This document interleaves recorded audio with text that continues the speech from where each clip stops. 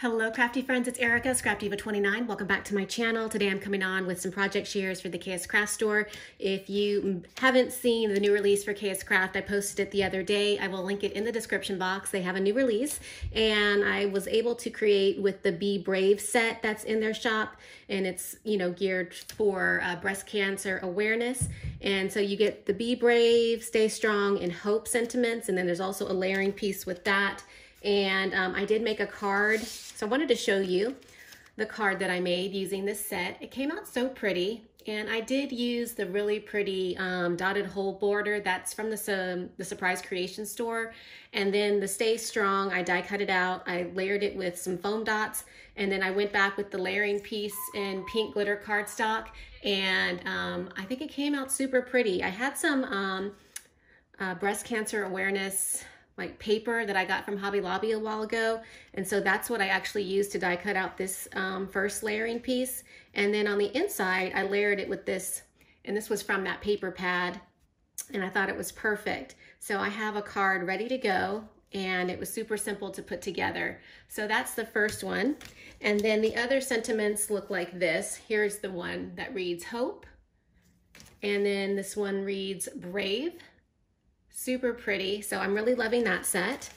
And then moving along, uh, the next set is the XOXO. And this is the shaker set that's new in their shop. And you get all of these pieces.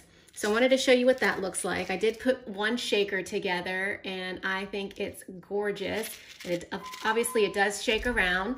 Um, this is um, using some gold foil cardstock and then I just added my own little fun sequins mix. I also added some lip sequins and I think that came out super, super cute. So I'm definitely gonna be popping this on a project, but this is what the um, shaker looks like. And then I also decided um, to use all um, of the pieces to create this shaker card, the XOXO.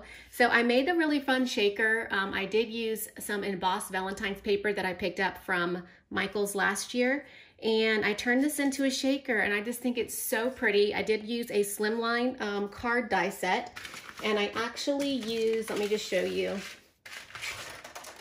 I used this set right here from the Surprise Creation store. It's like the double dotted stitched one with the wavy edge.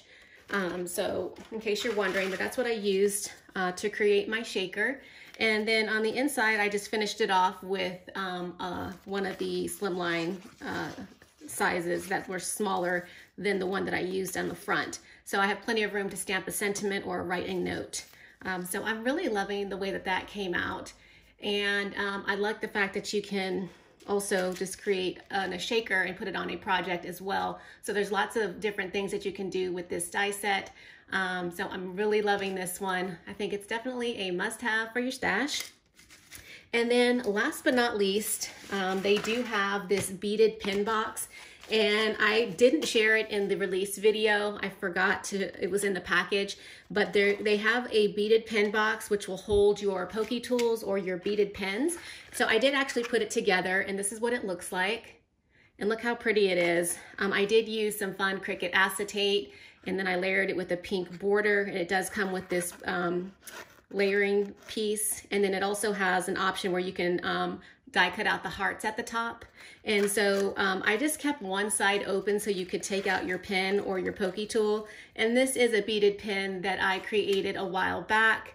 And these are so much fun to create. So I have a box ready now to gift a beaded pen to somebody and then you would just close it up like so. I did glue, I did adhere this side of the box, so it would just stay closed. So It only opens on one side, but you could leave both sides open if you wanted to. And then obviously if you want to embellish it further, you could. But um, I do like the fact that now they have a larger size box because they do carry a smaller size one as well. Um, so that is it, I think.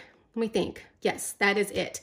That is the project share for the KS Craft Store. Again, check the description box below for the product information. If you have any questions, just ask. Thanks for stopping by my channel today, and I will catch you in the next video. Bye for now.